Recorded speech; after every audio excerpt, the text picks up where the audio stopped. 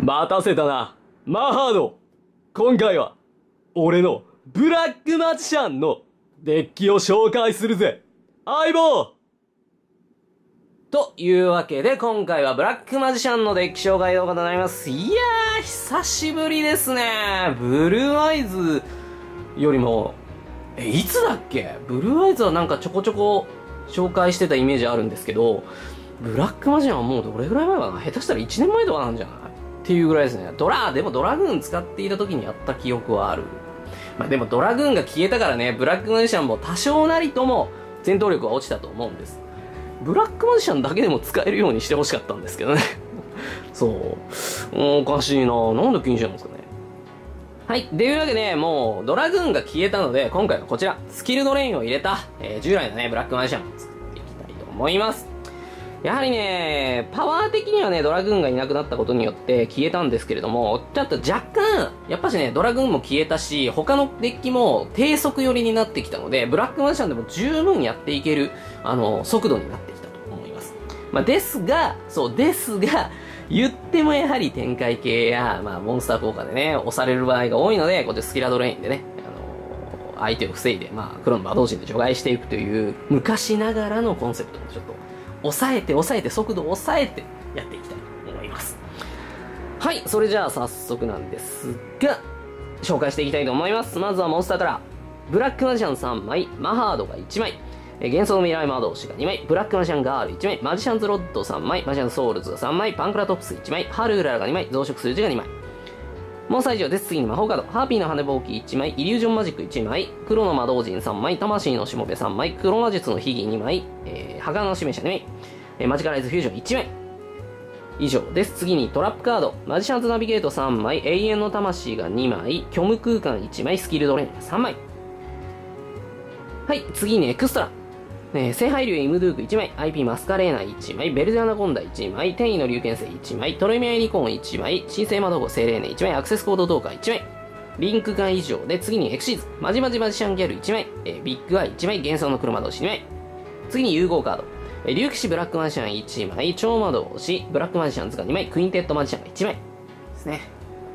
はい、それではやっていきたいと思います。次にモンスターから。まずは、えー、僕の相棒ですね、ブラックマジシャンが3枚、そしてマハード。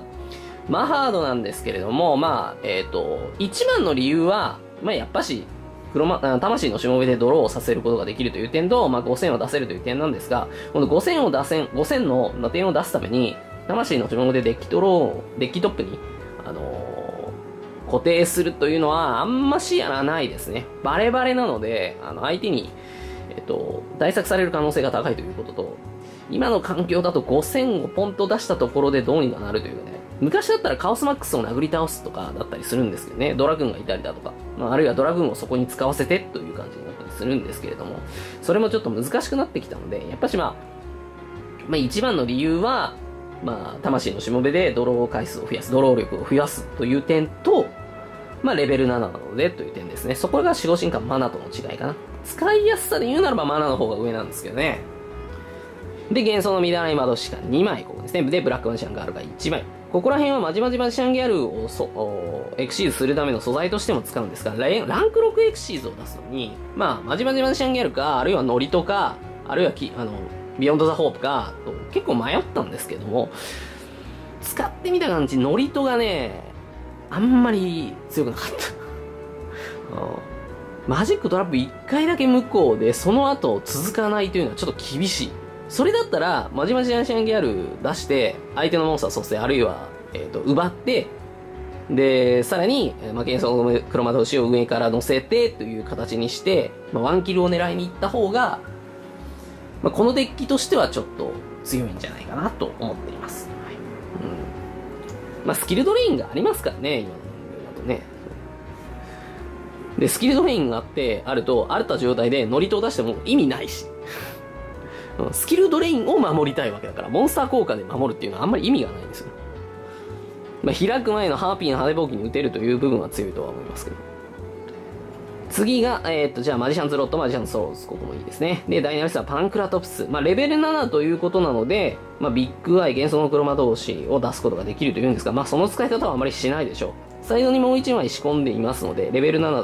と栄養して2枚入れてもいいかもしれません。で、春うらら上昇する字が2枚ずつ。これはちょっと枠がなかったから、他に必要なカードがやっぱり多すぎたので、ハンド油圧はこの筆カードの2枚だけをしています。で、ハーピーの羽の木、イリュージョンマジック。これイリュージョンマジックはやっぱしいるって。絶対いる。なんか使いやすさが半端ない。いろんな部分で使うことができるから。で、黒の魔導人3枚、魂のしもべ3枚、黒魔術の火が2枚。ですね。で、羽、で、摩擦の指名者2枚、マジカルやすぎでしょ。ここを、まあ、じゃあ、あ、墓の指名者というか、ね、墓穴2枚にしてるんですけれども、羽が怖いよっていう人は、抹殺入れてもいいかなと思いました。はい。どう、全力でここら辺を防いでる？コズミックも欲しい部分はあったんで。で、超魔導士ブラックマジシャンズがいるから、魔法トラップを増やすという選択肢は別に間違いじゃないんですよね。で、墓地に行って発動できる魔法トラップなんかも、もっと入れていいかなと感じてた。メタモルフォーゼフュージョンとかもちょっと考えたりしたんですよ。はい。切れるから、マジシャンソウルズで。そんな問題ではないかなって。で、マジカライズフュージョン。ここは、えっ、ー、と、まあ、クインテッドマジシャンを出すためなんですが、それ以外でも、まあ、えー、ブラックマジシャンズを出してもいいですし、どうしても怖い場合は、相手のね、あの、初手羽根が怖い場合は、ブラックマジシャンズを出してもいいかなって感じで、ブラックマジシャン、竜騎士ブラックマジシャンを出してもいいかなって感じで、そこしかないんですけど、逆に言うと、それ以外出すことはあんまなかったですね。他に融合カードが出すんだなって感じだったし。まあ、昔だったらドラグーン、それこそドラグーンだったんだけど、ね、今それがないんですから、ここ、ここですね。まあ、やっぱクインテッドマジシャン。あのー、融合5体、素材5体を出すっていうのも、このデッキだったら全然難しくないし、むしろ超現実的。1、2ターンで揃います。融合種類は。メインでここで攻めてるのも、メインで、まあ、ここら辺でもう5種類すでに超えてるのもそうなんですけどもね。1、2、3、4、5、6で。まあ、超えてるのもそうなんですけども、ここら辺も、あの、交えれば、もう余裕で突破できます。だからもっと安定性を出したい。あのなんだろう、魔法使い族増やすい、増やしたいっていうなら見習い魔女を入れてもいいと思います。見習い魔女も確かに強いとは思うんですけどね。今だとちょっと難しいかなって感じはあるんですけど。で、ドラップ。マジシャンズナビゲート3枚、A の魂2枚で、虚無空間スキルドレイン。もう虚無空間スキルドレインはなあ、虚無は、うーん、まあ虚無は1回使えればと思ってくれていいです。はい。そこまで、あの、なんて言うんです？あの、長持ちさせる必要性はないんで。で、リングモンスター、イムドゥーク、マスカレーナ。イムドゥークはブラックマジシャンを変換させて、ドラゴン族にして、竜騎士ブラックマジシャンを出したりします。それだけですね。で、マスカレーナ。相手ターン中に、まあ、ユニコーンでもいいんですけれども、まあ、おすすめって有権性。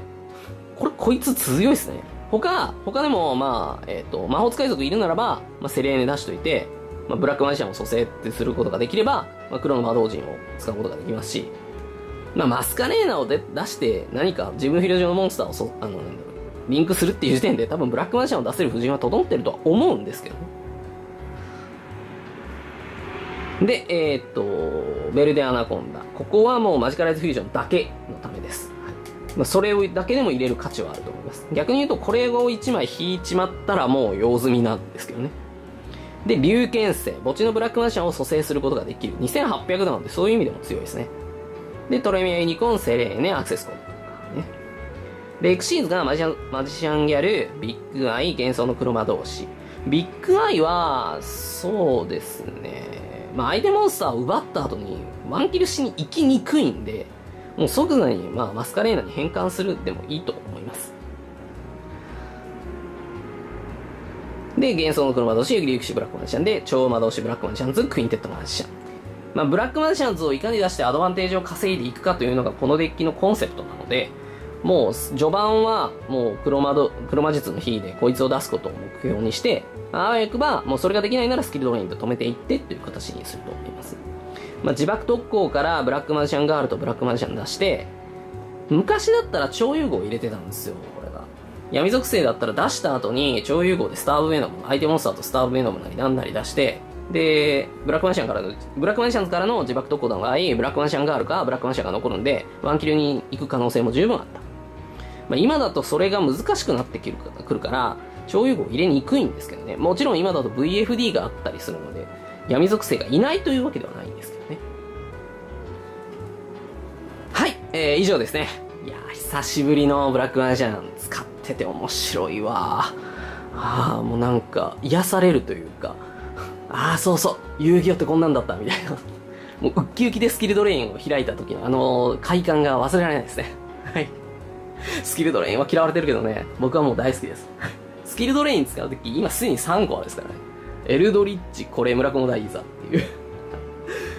はい、えー、それじゃあ以上です。ブラックマジシャンのデッキ紹介でした。また次の動画で会おうぜ相棒